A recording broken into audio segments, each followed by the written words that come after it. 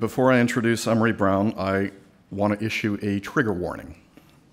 If any of you have surgery scheduled in the next future, you may want to take a coffee break.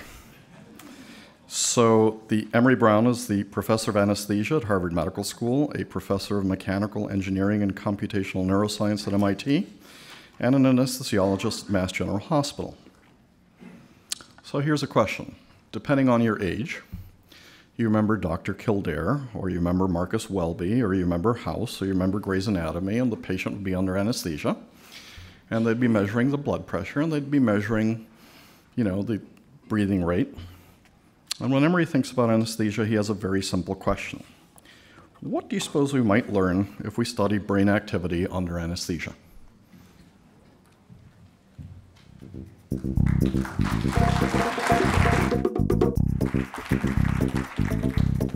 Great. Thank you very much, Juan. So that's what I'm going to talk about. I'm going to talk about rethinking anesthesia as a, a missing link in clinical neuroscience, and I think that'll be clear by the, by the time I get through.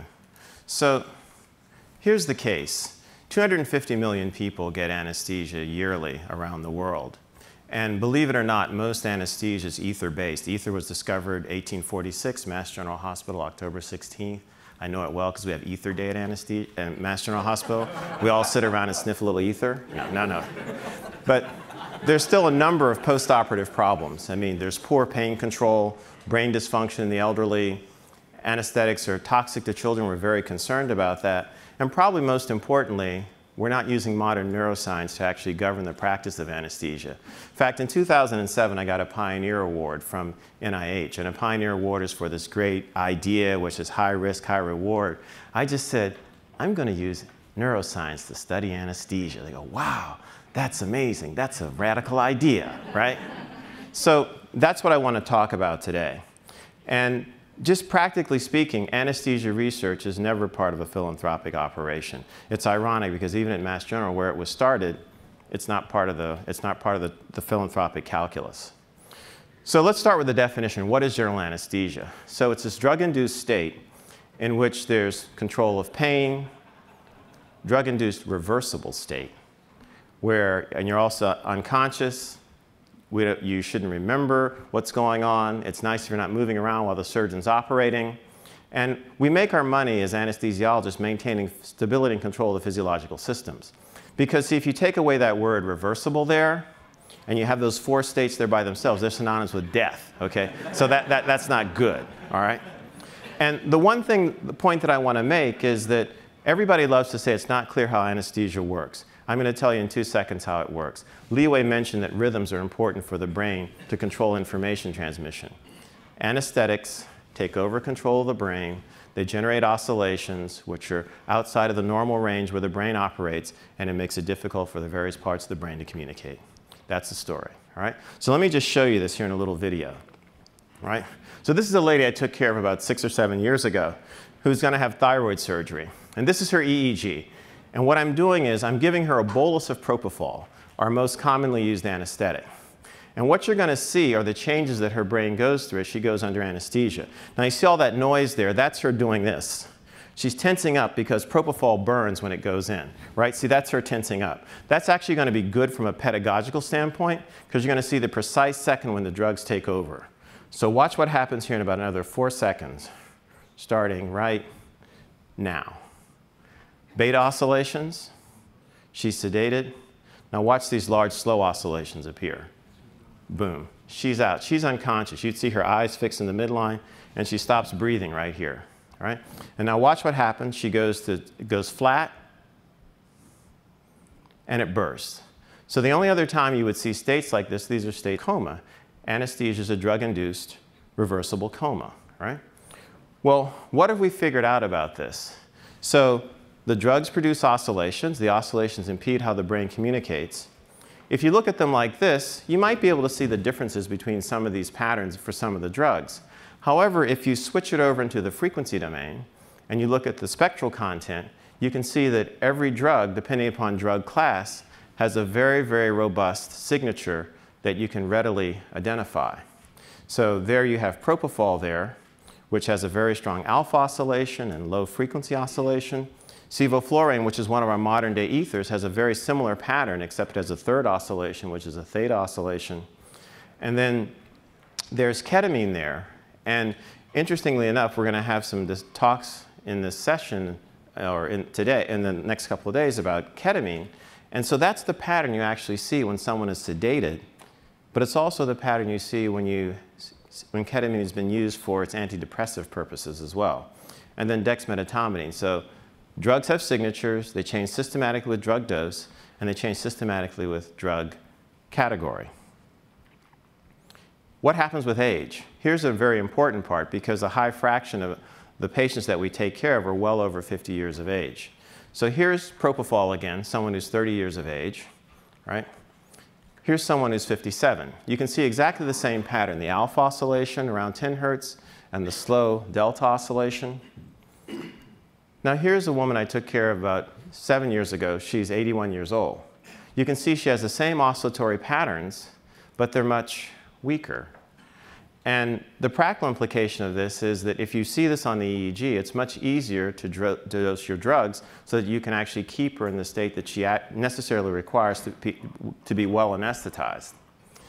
And so this is a, a, lady who I took care of. She had a tumor on her chest the size of an American football. It took the thoracic surgeons the better half of six and a half hours to remove it. And, but I was able to give her one third of the already age-adjusted dose because I was using the EEG. Here's the part that's a little bit sobering. These two guys are the same age. The 57-year-old gentleman looks like the 30-year-old gentleman, and the 56-year-old's pattern looks like the 81-year-old's pattern. We age different physically. It's not surprising that our brains, our brains age differently as well. What's wild is that by putting someone under anesthesia, maybe you'd be able to see it. Here are the kids, right? And just empirically, we found that the power turns out to be the highest when kids are around eight years of age. So we can use these ideas to actually tailor the way anesthesia is administered to people in the OR. At the moment, at best, 25% of anesthesiologists use some form of the EEG, certainly not this paradigm that we're talking about. We're working to educate anesthesiologists to do exactly this. And this is just an illustration of it. I put this in so without monitoring the EEG, I'm giving you some idea of the drug doses you might give someone for propofol, 100, 150 milligrams. With the EEG, I could cut it down to 20 to 30. The wake up in about 10 to 12 minutes typically, cut that down to two to three. And as opposed to waking up groggy, waking up coherent. So I want to leave you with one final idea. So this is, and I asked one of my rat volunteers to help me show this, all right? so, so he's anesthetized with, with, with uh, isoflurane, one of the ethers.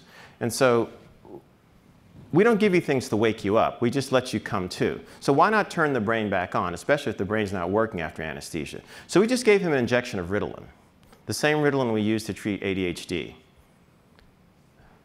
Now, now he's got a turnover for this to count, all right? If he doesn't, he's got his feet caught in the wires there. If he doesn't turn over, it doesn't count. He does make it. I've seen the end of the video. All right. All right. Oh, he made it. Thank God, guy. So, so why not give something to turn the brain on, particularly if, in fact, the brain is dysfunctional because of being in these oscillatory states which are persisted for a long period of time. And the word on the street is that things like Ritalin work because people use it in high-stress jobs. They self-medicate with Ritalin to make their brain sharper, right? So Here's what the future looks like. Using EEG-based monitoring and in neuroscience principles to guide drug dosing, we can change the practice dramatically. In fact, because the companies that normally produce the monitors were not doing this, we've actually set up our own startup to actually take this on. It's especially important, as I pointed out here, for elderly patients. Intelligent systems would be very straightforward to develop for this because someone who's going to be under anesthesia for four to three hours or longer, why not develop a control system that can help you dose the drugs? There, the computer could really help you out, you know, tremendously. We're also working on that. Turning the brain back on, I just showed you an example of what that would look like. And repurposing, you know, the, the, the Ritalin is an idea where you could use something which is used in a whole different context, and their anesthesiology and pharmacology is replete with these options of things which could help out you know, anesthesia. And then moving forward five, five to 10 years, maybe having really site-specific drugs, targets which take into account the circuits and not just essentially the receptors. But here's what I want to leave you with. See, when you take anesthesiology seriously, see how anesthesia is in the center of the universe there, and all of clinical neuroscience rotates around us, right? You know? No, it's, it's really true, right? So it's like, take for example, like pain, right? Ketamine is used to treat pain. Ketamine is used to treat depression. Ketamine is a model for schizophrenia. And take a drug like methohexital. At low doses, it induces seizure. At higher doses, you can actually use it to treat seizures. Right? So if we take neuroscience and anesthesia seriously, we can actually improve care for patients who require surgery. But more importantly, we can draw from clinical neuroscience and we can contribute to it. So this is why I say anesthesia is the missing clinical neuroscience link. Thank you.